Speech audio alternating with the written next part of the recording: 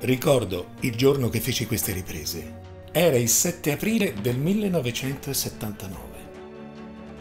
Padova sembrava vivere il quotidiano di sempre, ma quel 7 aprile del 79 era destinato a restare nella storia. Era passato un anno dall'omicidio di Aldo Moro e quel giorno Pietro Calogero, sostituto procuratore di Padova, chiede l'arresto dei maggiori leader di autonomia operaia, tra cui Toni Negri, insieme ad altri colleghi e tecnici della Facoltà di Scienze Politiche di Padova, con l'accusa di essere uno dei nuclei dirigenti di tutta la lotta armata per come si era sviluppata nel corso degli anni 70.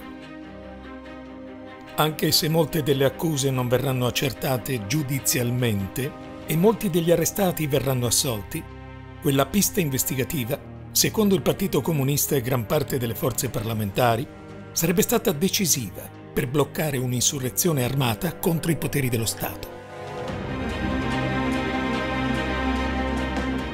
Il magistrato mi aveva interrogato su dettagli di fatti accaduti molti anni prima, nei mesi di fuoco della rivolta armata.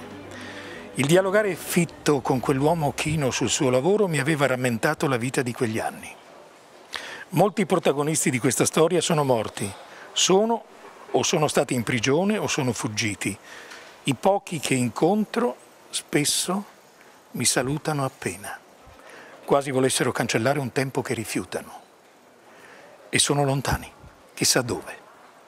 Eh, dici, rimasi per settimane in quella facoltà, ma tutto iniziò quel 16 febbraio 1977, quindi dal, dal 77 all'80, no? Che poi sono gli anni di piombo, no? Sì, certo.